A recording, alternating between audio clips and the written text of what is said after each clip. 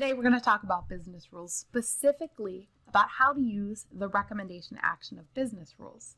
Now I thought a really interesting use case here could be on our opportunity table. So I'm in my demo environment here for opportunities and I like the fact that we have probability and rating and right now our users have to enter both of these data points um, and it's up to them what to assign the values. So what I'd like to do is prompt a recommendation that when a user enters a probability value within certain thresholds, I want to suggest that they update the rating. So that's what we're going to configure for our users.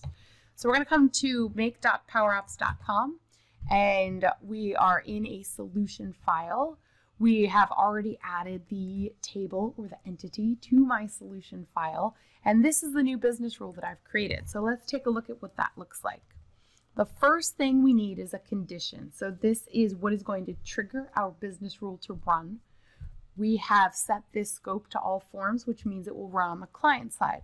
So when my user opens the opportunity form, this business rule will fire automatically as soon as that condition is met. So my condition here, I want it to check that the probability is greater than or equal to 50. And then I've added a second rule here because I also want to ensure the probability is less than 70. So again, that first condition is probability is greater than or equal to 50 and also less than 70. I dragged over the recommendation action here, which you can use on the components tab or quick add. And as soon as you do that, you have to fill out a couple pieces of information. So name the recommendation. That's just for you, the system administrator, to manage this in the future. The users won't see that. What they will see is your recommendation title and the details. So type in what you want those to be, click apply. And then we're going to go into the details area. And this is your action or actions. You can add more if you want. Um, but here's our action. We named it set rating to warm. Again, users won't see this. This is just for you. Select your field, what you want the type to be, to value, set it a value, set it as a field, or clear your value. Um, and then for this one, we selected form. So my nested conditional, I pulled in a second condition here, and I want to check if probability is greater than or equal to 70. So if probability is greater than or equal to 70, I dragged over a separate recommendation action here.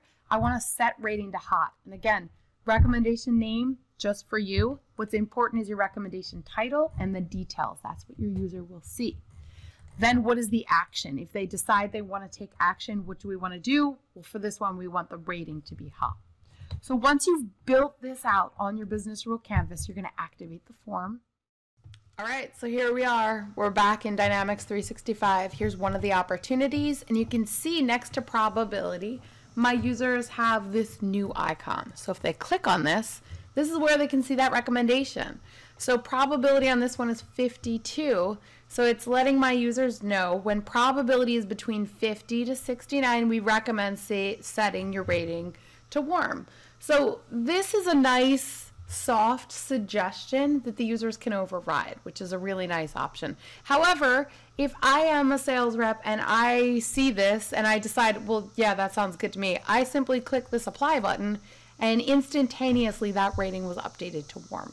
So I can continue doing this. So let's get this rating above where we were. Um, and then it can it updates my recommendations. So now when probability is 70 plus percent, set your rating to hot. Click apply and it immediately updates that. So this is how to apply a recommendation action to a form in Dynamics 365 using a very simple business rule and drag and drop technology. If you have any questions, email me at heidi at reenhance.com or add a comment to the video below. Thanks.